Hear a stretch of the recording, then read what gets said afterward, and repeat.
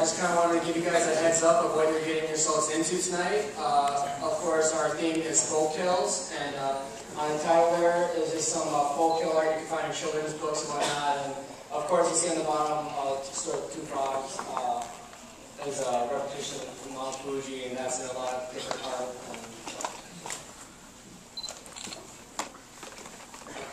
Uh, I wanted to talk about um, many things are uh, most important about folk tales is how folk tales are passed on throughout generations. Um, you can see them being passed on through campfires, uh, you know, cave drawings, if you want to get that far back. And a popular one, I just wanted to show a quick picture of a Kamishibai, and that is where uh, travelers would go town to towns with these boxes of uh, folk art, and they would uh, show people, and they'd go by as they're going through the town and stuff like that. Um, can everyone say Kamishibai with me? Kamishibai. I just want to have you guys go away with a more Japanese, you know, leave tonight. All right. Um, uh, Japanese folktales are heavily influenced on two of their most popular religions, uh, Shintoism and Buddhism. Um, one of the stories we have tonight is uh, directly based on uh, the Jizo, Jizo statues, which are you know, they, they're kind of like our representation. We'll have uh, statues of Jesus Christ or Mary everywhere, and some uh, uh, sort of similar representation of what they have in Japan for their religion. And then uh, in the corner there, there's uh, Amaterasu, the sun goddess.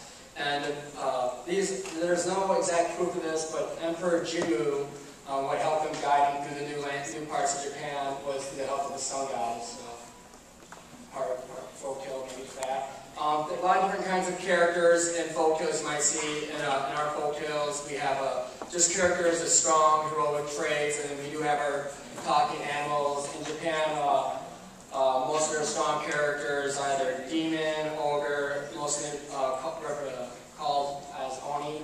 And then they have supernatural beings, you know, haunting figures that you can never find. And then there's uh, dragons, of course, in the picture of that. And then just uh, some of the talking animals you might find there uh, fox, transforming cat, raccoon, dog, badger, and tapir. Uh, uh, yeah, most of these animals just the mystical, mystical animals that would talk to the characters back and forth, just like in our American folktales.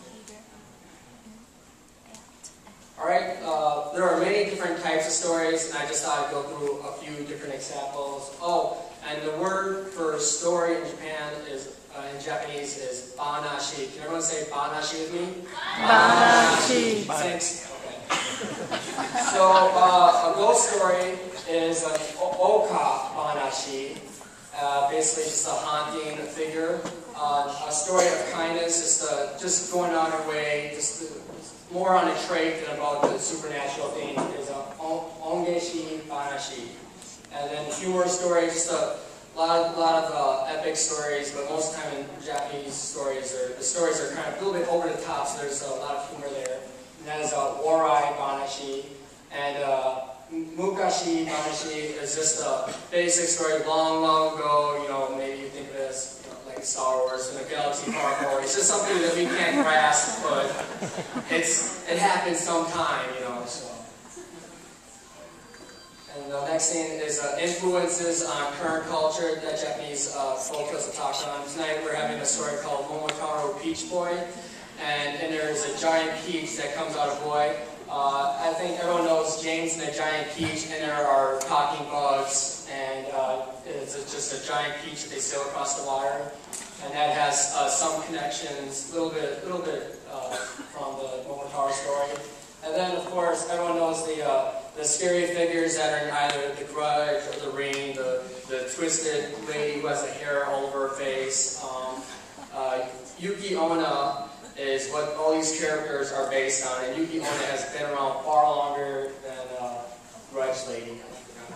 and then there's uh, Frosty Snowman. Uh, I know that might be a kind of far grasp, but uh, in the Six Statue story, uh, well, I think you'll you'll see what happens with the hats and stuff. So yeah, except uh, our our our inanimate objects come to life, they don't say happy birthday or something else. And then uh, tonight, I just want to give you just a brief overview. We broke the night up into four different folk hills where we presenting everyone. Uh, six of those statues is uh, the Hong Hongeshi, Oni Hongeshi Banashi story. Uh, just a New Year's fill up uh, story. And then Bamboo Princess, oh, I can't remember. And then uh, basically that's just uh, someone who's uh, a little girl who's just uh, a little princess who's finding a place to belong. And then we have intermission. And then the second half is the Snow Lady. That is a, a scary story, and there's more things that happen to it, so you might want to cover your children's eyes during that story.